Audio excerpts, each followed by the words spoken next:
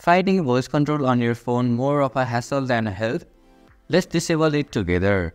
Hi, I'm Suyuk from Online Help Guide and in today's video, I'm going to show you how to disable voice control on iPhone. So let's get started. First, open the Settings app. Scroll down and go to the Accessibility settings.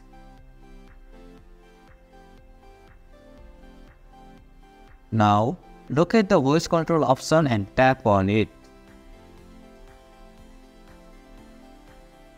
Finally, tap on the toggle switch right next to voice control option to turn it off.